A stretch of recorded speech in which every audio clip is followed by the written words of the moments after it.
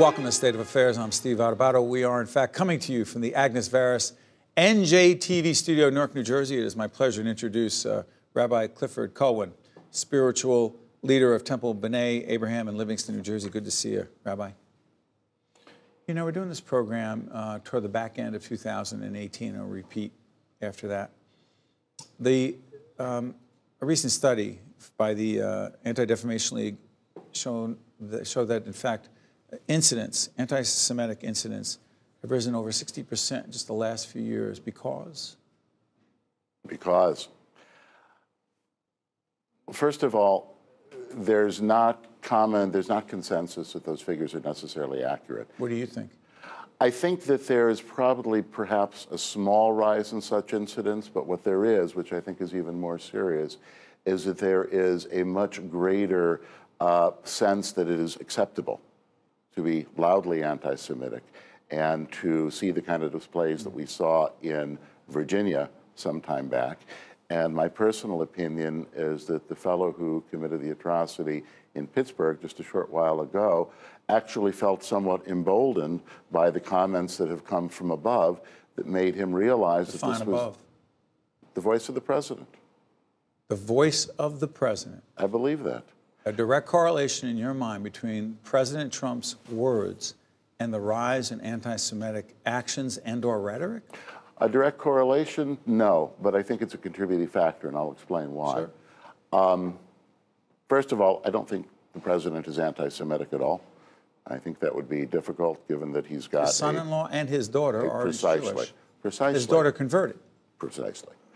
but I do think that his style of rhetoric and the base that he pays a great deal attention to riling up is a style of rhetoric that leads to violent statements being made, uh, violent uh, imagery being acceptable.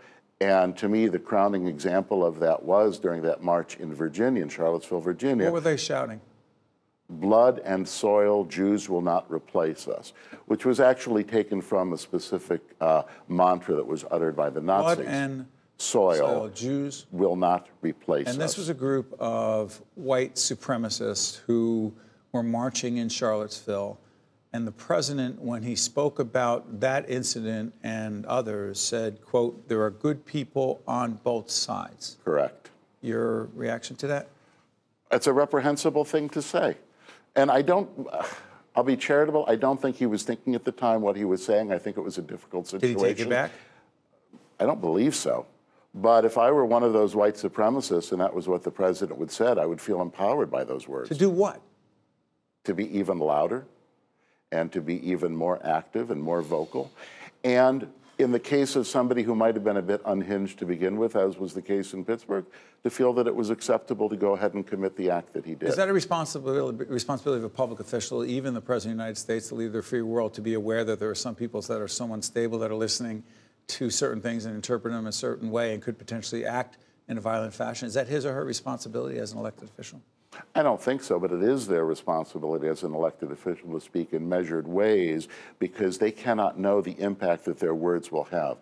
Look at it like this. Um, I know that you're a parent, as am I. Yep. We never cease to be amazed by words that we think were uttered offhand when our children were young.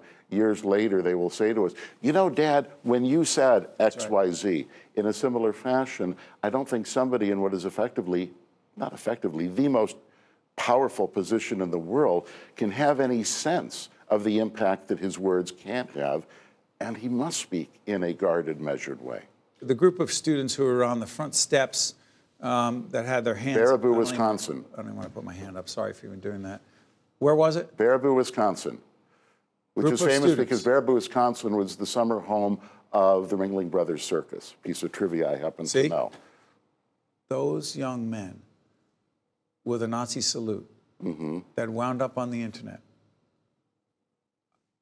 You see that, you think what? I see that.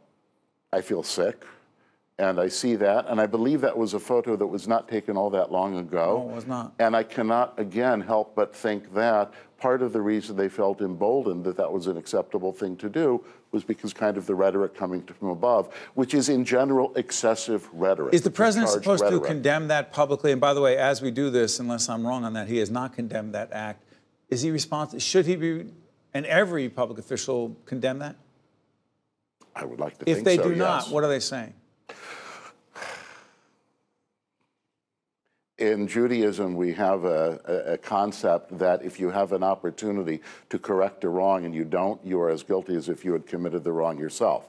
Now, in all fairness, the president is a busy guy. There may be a lot of such incidents. I don't know about a particular Yeah, one. you can't expect him to be However, in general yeah, right. and as a concept, yes. You can't expect the president to be tweeting about things that are not significant. Um, I'm sorry. Should not have said that. But let me ask you this. The question now, as we move forward, is what is it that we should be teaching our children, say children who happen not to be Jewish, mm-hmm. or children are not? If someone says, well, those are Jewish kids, those aren't, you know, that's not us tell folks the whole that that the whole I'm going to get it wrong, you know, when the Nazis came, and you know, like people were expecting it was some. Well, it wasn't me. Right. It was them. That still resonates for me right now. I'm going to get it wrong, so I'm going to turn to you, Rabbi, to get it right. Well, I, the nice. Actually, the quote was by a, a Christian minister at the time. I was silent when I was silent when, and when I when they came for me, nobody was there to say anything. was he But not saying what- anything because it wasn't him? He didn't say anything because it wasn't him, and then there was nobody to speak up for him. Yeah, but you ask you ask what we, we do. Yes. I think an outstanding example. My synagogue is located in Livingston. A member of my congregation who's been a history teacher there for many years, Jill Tejeda, created a course called History, uh, Holocaust and Genocide.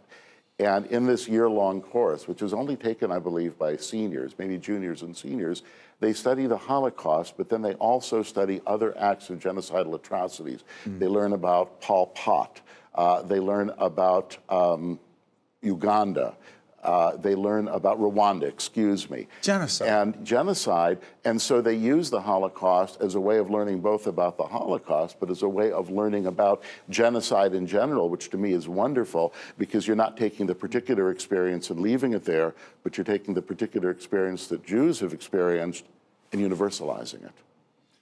Uh, religion matters, which is in fact why our colleagues here at NJTV have been trying to have a series of conversations with religious leaders about the role of religion in society. Um, Rabbi, thank you. We appreciate it. We'll continue the conversation. Thank you. All the best to you and your congregation. Okay. We'll be back right after this on State of Affairs. State of Affairs with Steve Adubato is a production of the Caucus Educational Corporation, celebrating over 25 years of broadcast excellence. State of Affairs with Steve Adubato is brought to you from the Agnes Varis NJTV studio at 2 Gateway. Funding has been provided by Rowan University, Choose New Jersey, Delta Dental of New Jersey, University Hospital, Newark, New Jersey.